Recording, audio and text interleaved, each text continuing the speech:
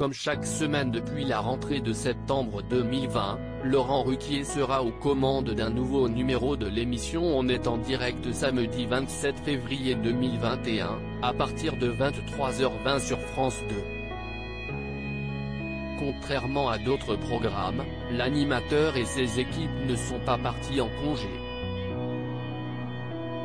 Ainsi, de nombreuses personnalités issues du monde de la culture seront encore une fois présentes sur le plateau de Laurent Ruquier cette semaine, alors que les lieux culturels sont toujours fermés depuis le début du deuxième confinement fin octobre 2020.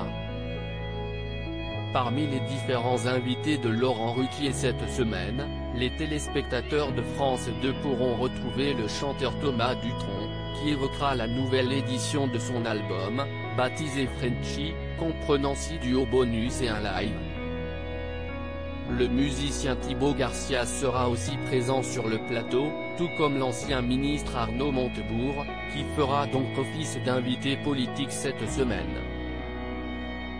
Par ailleurs, Laurent accueillera l'une des sociétaires de son émission de radio Les Grosses Têtes, en la personne de Karine Le Marchand l'animatrice de M6, qui présente notamment L'amour est dans le pré ainsi que La France a un incroyable talent, devrait évoquer ses différents projets audiovisuels.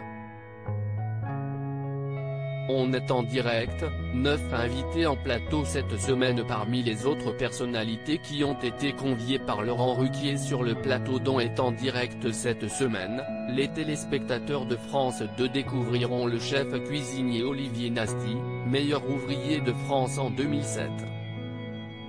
La musicienne Jeanne Chéral participera également au programme pour faire la promotion de son dernier album, intitulé L'âne 40.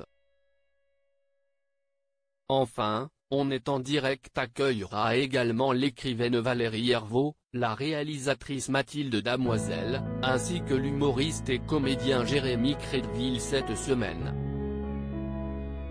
Ces derniers évoqueront tous leurs actualités respectives.